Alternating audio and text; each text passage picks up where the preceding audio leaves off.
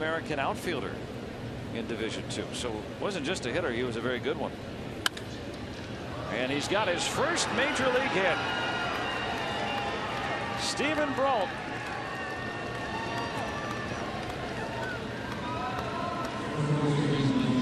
And there's a souvenir he'll have forever.